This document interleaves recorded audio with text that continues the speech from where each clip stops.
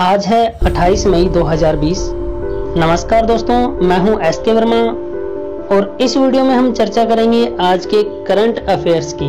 तो चलिए स्टार्ट करते हैं। डियर फ्रेंड्स लास्ट वीडियो में हमने आपके लिए एक पर्सन छोड़ा था। पर्सन था, हाल ही में तसाई इंगवेन ने किस देश के राष्ट्रपति पद की शपथ ग्रहण की है? और हमने चार ऑप्शन आपको दिए थे। First option Philippines second Taiwan third Israel fourth Brazil और आपसे पूछा था कि यदि आपको ये पर्सन आता है तो आप कमेंट करके बता सकते हैं। तो चलिए आपको हम इस प्रश्न का आंसर बता देते हैं। इस प्रश्न का आंसर बताने से पहले आप यह वीडियो पूरी देखें, क्योंकि इस वीडियो में इस पर्सन के बारे में अच्छे से डिटेल से बताया गया है। और साथ ही आज की वीडियो के आने वाले सभी पर्सन इस वीडियो से पूछे जाएँगे। तो वीडियो को ध्यान से देखें और वीडियो को देखने के बाद आज के सभी प्रश्नों के आप आंसर दें। तो स्टार्ट करते हैं ये वीडियो। स्वागत है आप सभी का इस वक्त की बड़ी खबरों के साथ।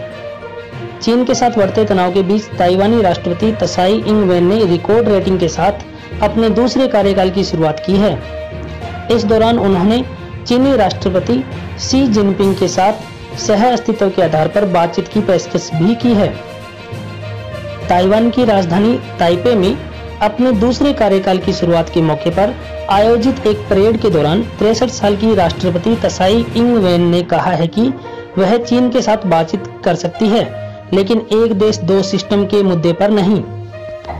ताइवानी राष्ट्रपति साई इंग वेन ने अपने दूसरे कार्यकाल की शुरुआत पर चीन के साथ संबंधों को सुधारने पर ज़ोर दिया। हालाँकि उन्होंने स्पष्ट शब्दों में कहा है कि वह चीन के साथ हांगकांग की तरह एक देश दो सिस्टम के मुद्दे पर बातचीत नहीं करेंगे। वहीं आपको बता दें, चीन ताइवान को अपना हिस्सा और डीपीपी की नेता साई को अलगाववादी मानता है। साई की Democratic Progressive Party DPP Taiwan की सबसे मज़बूत पार्टी बन चुकी है। जनवरी में हुए चुनाव में रिकॉर्ड जीत से डीपीपी ने दूसरी पार्टियों को बहुत पीछे छोड़ दिया है। ताइवान से जुड़ी हुई अगली बड़ी खबर यह है कि चीन भाजपा के ताइवान प्रेम से तिल मिलाया हुआ है।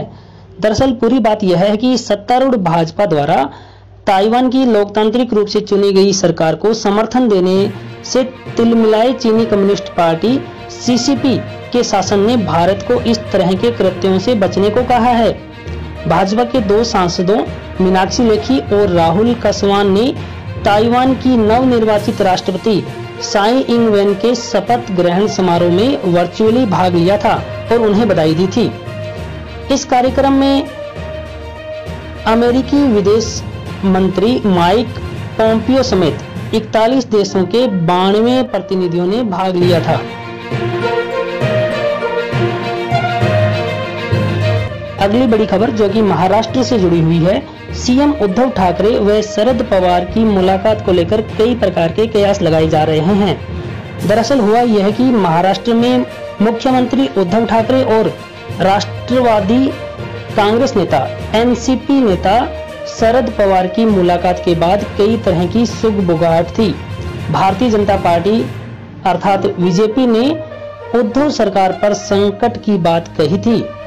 लेकिन अब खुद शरद पवार ने साफ़ कर दिया है कि आखिर इस मुलाकात का एजेंडा क्या था।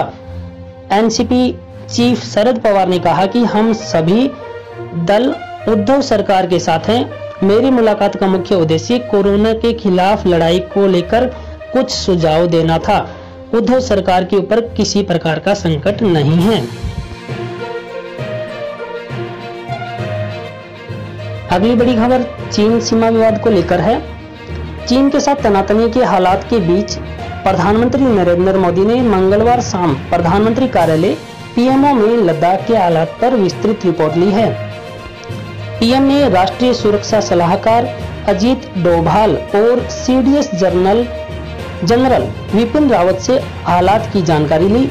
जनरल विपिन रावत ने तीनों सेनाओं की तरफ़ से मौजूदा स्थिति और उससे निपटने के इनपुट दिए हैं। और साथ ही सेनाओं की तैयारियों का पूरा खाका पेश किया गया है। आपको बता दें, पिछले कुछ दिनों से पूर्वी लद्दाख के आसपास सटे चीन के इलाके में चीन और भारत का सीमा विवाद चल रहा है।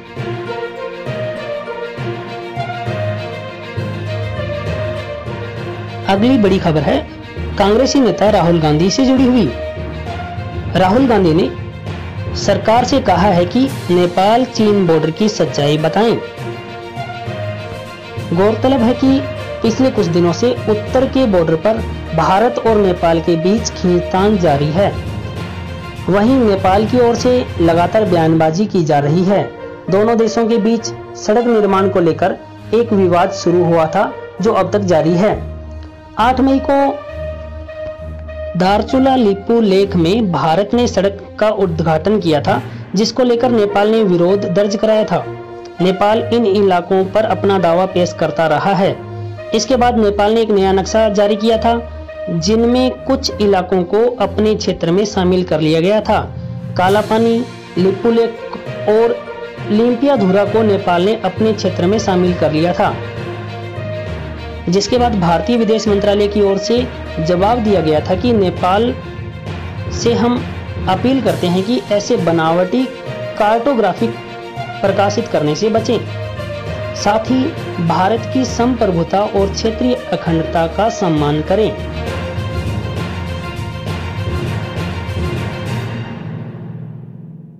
लेकिन नेपाल के प्रधानमंत्री की ओर से दिए गए बयान के बाद यह विवाद और बढ़ता नज़र आ रहा है। दरअसल, नेपाल के प्रधानमंत्री के पी शर्मा ओली ने यह कहा था कि वो भारत को एक इंच ज़मीन नहीं देंगे। इस वक्तव्य के बाद अभी भारत और चीन के साथ भारत और नेपाल के संबंधों में भी तनाव बना हुआ है। तो डियर फ्रेंड्स यदि आपने वीडियो अच्छे से देख ली है तो आपको इस प्रश्न का आंसर मालूम हो गया होगा। प्रश्न था, हाल ही में तसाई इंग वैन ने किस देश के राष्ट्रपति पद की शपथ ग्रहण की है? चार ऑप्शन थे फिलीपींस ताइवान इजराइल और ब्राज़ील तो सही आंसर है ऑप्शन नंबर बी ताइवान तो चलिए फ्रेंड्स आज की वीडियो का पहला प्रश्न लेके आते हैं। और जैसा कि हमने आपको बताया है कि सभी प्रश्न अभी जो दिखाई गई वीडियो है, उसी से पूछे जाएँगे। अगर वीडियो को आपने ध्यान से देखा है तो इन सभी प्रश्नों के आंसर आप दे सकेंगे। तो आज का पहला प्रश्न है, ताइवान के राष्ट्रपति साई इंग वेन ने रिकॉर्ड रेटिंग के साथ राष्ट्रपति के तौर पर अपने दूसरे कार्यकाल की शुरुआत कर दी है। इस दौरान किस अमेरिकी विदेश मंत्री ने मंगलवार को उनको बधाई दी? चार ऑप्शन है आपके पास। First option Mike Pompeo, second option Donald Trump, third option Antonio Guterres और फोर्थ ऑप्शन स्टीव एल्वा तो यदि आपको इस प्रश्न का आंसर मालूम है तो कमेंट करके बता दीजिए। जैसे कि हमने बताया कि अगर वीडियो को आपने गौर से देखा है तो आप आंसर दे पाएँगे। तो चलिए हम आंसर बता देते हैं। इसका आंसर होगा option number A, Mike Pompeo. तो यह पहला प्रश्न था, चलते हैं दूसरे प्रश्न की ओर। दूसरा प्रश्न है, वर्तमान में चीन के राष्ट्रपति हैं। First option, Benny Gantz. Second option, Donald Trump. Third option, Antonio Guterres. और फोर्थ ऑप्शन है, सी जिनपिंग। तो आप अपना आंसर दे सकते हैं कमेंट करके। चलिए, हम आपको बता देते हैं इस प्रश्न का जो सही आंसर है।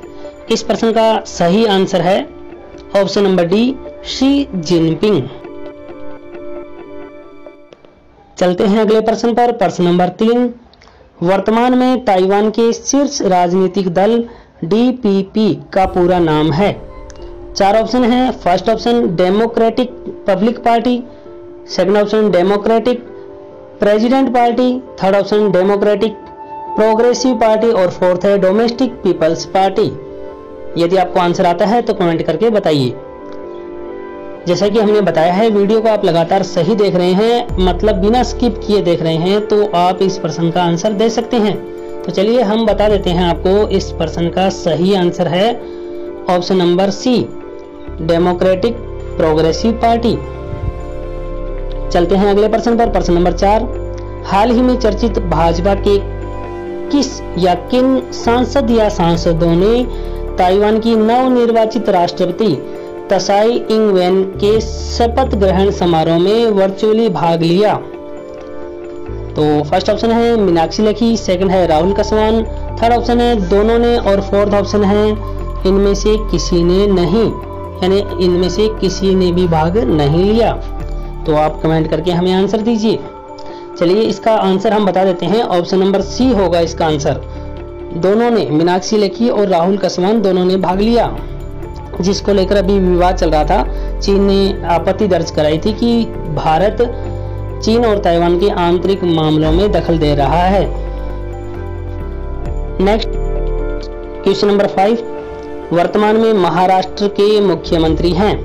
First option Devendra Fadnavis. Second option Uddhav Thackeray. Third Sharad Pawar और फोर्थ योगी आदित्यनाथ। तो आप अपना आंसर दें। चलिए हम आपको आंसर बता देते हैं। इसका आंसर होगा option number B, Uddhav Thackeray. अभी हाल में उद्धव ठाकरे ने शरद पवार से जो मीटिंग की थी, वो मीटिंग के कारण थोड़ा सा संशय बना हुआ था। इसी कारण उद्धव ठाकरे चर्चा में है। चलिए अगला प्रश्न प्रश्न नंबर छ दारचूला लिपुलेख में भारत ने सड़क का उद्घाटन किया था, जिसको लेकर किन किस देश ने विरोध दर्ज कराया था? यह देश इन इलाकों पर अपना दावा पेश करता रहा है। फ़र्स्ट ऑप्शन चीन, second option Pakistan, third option Nepal और फोर्थ ऑप्शन भूटान। तो आप अपना आंसर दीजिए। देखिए, आप अपना आंसर देते वक्त वीडियो को पॉज कर सकते हैं। चलिए, हम आंसर आपको बता देते हैं। Option number C, Nepal. Maximum student ने ए चीन किया होगा। देखिए, फ़िलहाल विवाद चीन और नेपाल दोनों के साथ है। तो ये जो दारचूला लिपुलेख का विवाद है, वो नेपाल के साथ है।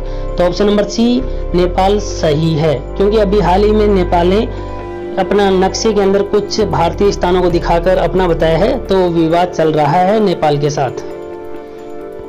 नेक्स्ट क्वेश्चन नंबर सेवन काला पानी लिपुलेख और लिम्पिया धूरा है। फ़र्स्ट ऑप्शन भारत, चीन विवादित क्षेत्र। सेकंड ऑप्शन भारत, पाकिस्तान विवादित क्षेत्र। थर्ड ऑप्शन भारत, नेपाल विवादित क्षेत्र। और फोर्थ ऑप्शन भारत, भूटान विवादित क्षेत्र। तो आप अपना आंसर दीजिए, वीडियो को पॉज करके कमेंट कर सकते हैं आप अपना आंसर। अगर आप हमारी वीडियो लगातार देख रहे हैं तो हमने जो वीडियो क्लिप आपको दिखाई थी, उसमें इसका आंसर था। तो सही आंसर है option number C, Bharat, Nepal विवादित क्षेत्र। अभी हाल ही में ये कालापानी, लिपुलेख और लिम्पिया धुरा को नेपाल ने अपने नक्शे में दिखाया है, जिसको लेकर भारत ने आपत्ति दर्ज कराई है। चलिए अगले प्रश्न पर चलते हैं। प्रश्न नंबर एट वर्तमान सीडीएस कौन है? First option General Bipin Rawat, second option Ajit Doval, third option Narendra Rao और fourth option A K Bhandarkar. तो वीडियो पॉज करके आप अपना आंसर दे सकते हैं। तो आपका सही आंसर है option number A General Bipin Rawat अभी हाल ही में प्रधानमंत्री नरेंद्र मोदी के साथ विपिन रावत अजीत डोभाल ने हाई लेवल मीटिंग की है चीन के मुद्दे पर लेकर। तो इस कारण ये अभी चर्चा में बने हुए हैं। चलते हैं अगले प्रश्न प्रश्न नंबर नौ की ओर। वर्तमान में नेपाल के प्रधानमंत्री हैं।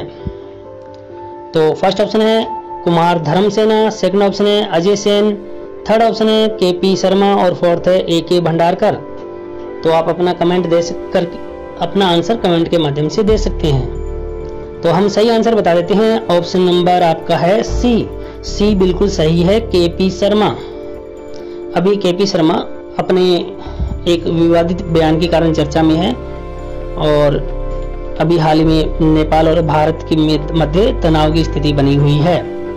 चलते हैं अगले प्रश्न प्रश्न नंबर टेन की ओर। आज की वीडियो का ये लास्ट प्रश्न है, वर्तमान राष्ट्रीय सुरक्षा सलाहकार कौन है? First option Ajit Doval. Second Bipin Rawat. Third option Madhusudan Sharma. Fourth A K Bhandarkar. तो इसका जो सही आंसर है option number A Ajit Doval. तो डियर स्टूडेंट्स यह थे आज की करंट अफेयर्स के 10 पर्सन चलिए एक प्रश्न आपको दे देते हैं हम। जिस पर हम अगली वीडियो में चर्चा करेंगे, इसका आंसर अभी नहीं बताने वाले। आप अपना उत्तर देना चाहें तो कमेंट करके दे सकते हैं। प्रश्न है आज का आपके लिए। हाल ही में किस देश में कोविड 19 से मरने वालों की संख्या एक लाख के पार पहुँच गई है? First option, Italy. Second option, Brazil.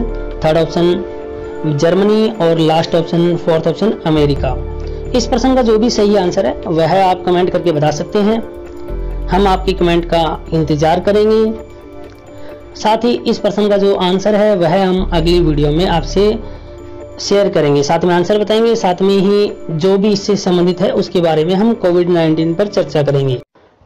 तो डियर फ्रेंड्स इस वीडियो में इतना ही। अगर वीडियो अच्छी लगी हो तो हमारे यूट्यूब चैनल को सब्सक्राइब कीजिए। साथ में बेल आइकन अवश्य दबाएँ। बेल आइकन दबाने से आपको लेटेस्ट वीडियो का नोटिफिकेशन मिलता रहेगा। वीडियो अच्छी लगी हो तो वीडियो को लाइक अवश्य करें, साथ ही अधिक से अधिक शेयर करें और कमेंट के माध्यम से अपने सुझाव अवश्य दें। तो आगे दीजिए इस वीडियो में इतना ही। नेक्स्ट एक अन्य वीडियो के साथ फिर मुलाकात होगी। तब तक के लिए बाय टेक केयर